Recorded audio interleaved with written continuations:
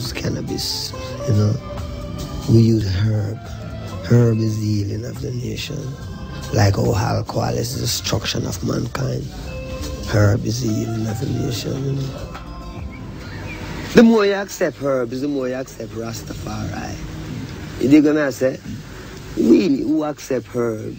Herb is not, herb is important, but herb is more important to the people who don't accept it yet because that is the reality. I mean, it's not then, um, um, well then something that you crave, but you check it in your sense and say, herb.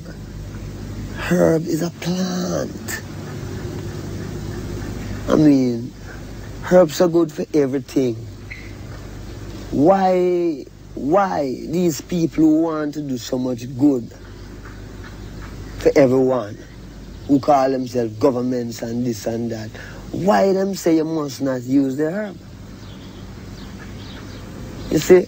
And we check that and we can't find, we just see them just say, no, you mustn't use it, you mustn't use it because it make you rebel.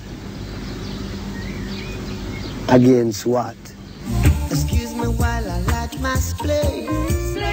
Oh God, I got to take a leave. From reality, I just can't drift. As a while staying with this real. Take it easy. Got to take it.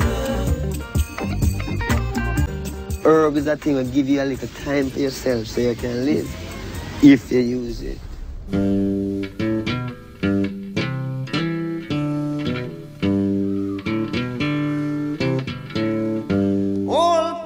Is only important if me can help plenty people. In my life is just me, my own security. Then me no want it. My life is for people.